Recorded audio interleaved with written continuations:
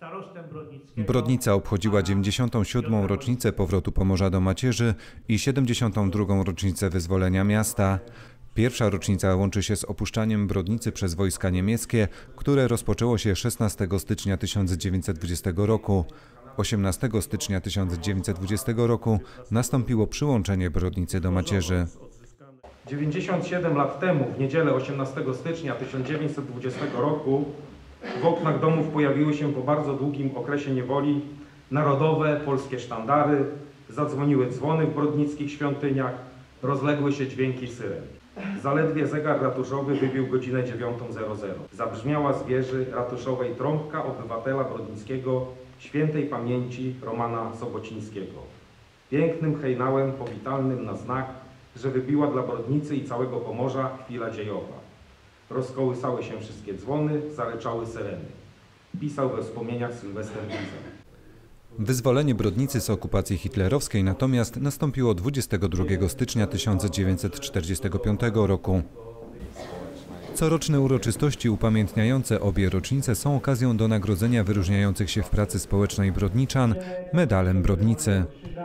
Tym roku otrzymali je Marzena Kaszyńska, nauczycielka w szkole podstawowej nr 2, Barbara Glinka, prezes Towarzystwa Miłośników Kultury Brodniczanka, Teresa Ostrowska, prezes Towarzystwa Przyjaciół Kultury Ziemia Michałowska oraz Jacek Piersa, właściciel piekarni. Zaczęłam pracę w 2008 roku od programu eTwinning poprzez Comenius, a w dzisiejszej chwili jest to Erasmus+.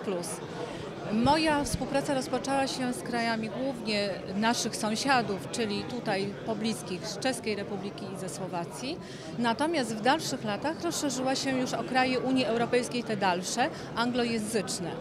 Poprzez tą moją pracę pokazuję dzieciom, że można nawiązywać kontakty, można rozmawiać i daje to konkretną motywację nauka, nauki języka angielskiego w szkole. Zrobiliśmy swój klub. W klubie znajduje się 70 osób.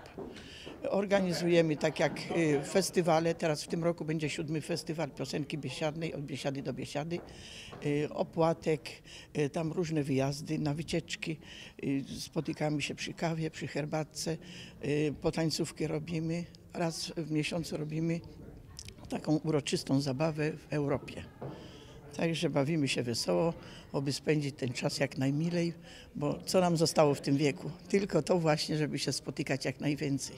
Mój klub seniora, Towarzystwo Miłośników Kultury Brodniczanka, istnieje już ponad 20 lat. Oczywiście władze się zmieniają, ja w tej chwili jestem 4 lata. No cóż mogę powiedzieć na ten. Mamy chór, z którym wyjeżdżamy bardzo dużo, jeździmy po, do innych klubów.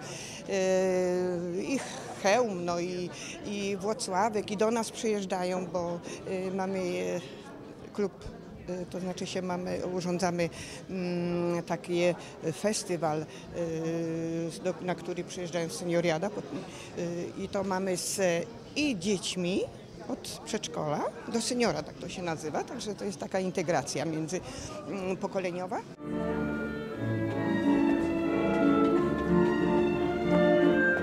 Uroczystość swoim występem artystycznym uświetnili uczniowie Szkoły Podstawowej nr 1 w Brodnicy.